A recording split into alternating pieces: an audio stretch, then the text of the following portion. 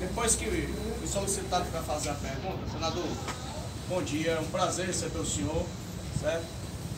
Eu acredito que todos nós estamos muito felizes pela sua, pela sua é, candidat, é, por, por ter sido eleito, né? Tá chovendo de pergunta aqui, um falou e tal, o outro falou, mas assim, eu gostaria de saber do senhor, qual é o seu principal objetivo? Aonde o senhor pretende atacar primeiro? Tá. Primeira coisa que eu vejo que hoje eu senti no estado do Ceará que a questão da segurança. A gente, mesmo no Senado, não tendo uma ação direta, eu, eu me preocupo muito. Porque o cidadão de bem está hoje acuado. Existe uma lei de silêncio em muitos municípios. E nós vamos abrir uma CPI lá em Brasília, do narcotráfico. Se Deus quiser, nós vamos tentar bater na porta de cada deputado, de cada senador, já que aqui os deputados não conseguiram abrir essa CPI. Nós vamos tentar abrir uma CPI lá em Brasília e trazer para o estado do Ceará para ver o que é está por trás do crime organizado. Precisa libertar. Nós estamos precisando de uma nova libertação.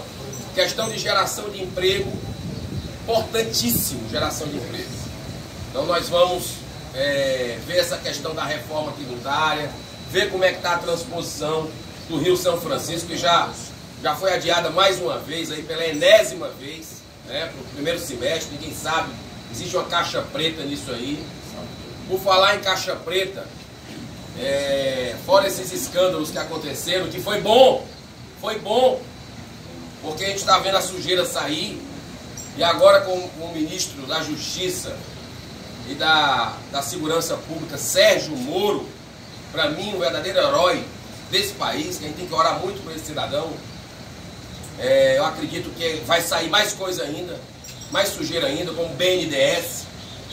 Tem que ver o que é está acontecendo. Dinheiro do Brasil indo para ditaduras. E ninguém tem informação, dinheiro seu, dinheiro meu, dinheiro dele.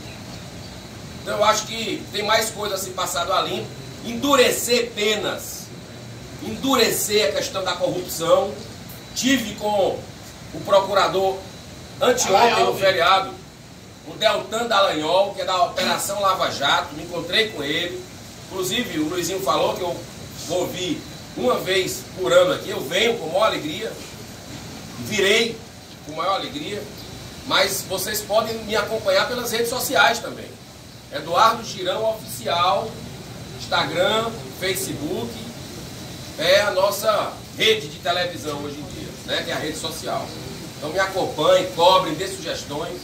Então a gente tem uns caminhos, por exemplo, para endurecer aquelas 10 medidas contra a corrupção, que agora vão ser 72.